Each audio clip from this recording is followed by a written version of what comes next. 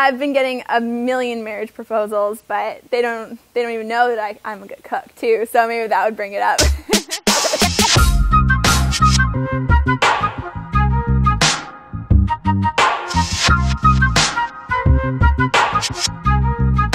so I started my Instagram account just to kind of document my senior year at San Diego State, and then it just went viral. It was crazy.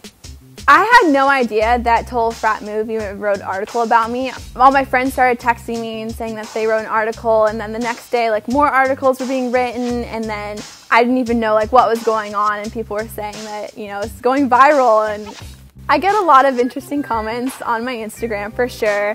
For the most part, I have a lot of positive feedback, and I mean they say so many nice things, so it's it's been great. Short game is by far my favorite part. Um, I love the creativity about it. I mean, you have a basic chip shot, but you can hit it a million different ways, and you can even flop it if you want, and I love that part of it. Turn the shoulders a hair more. Yeah, beautiful. I want to play professionally. Um, I've always wanted to play on the LPGA Tour, and I want to chase that dream, and that's my main goal right now.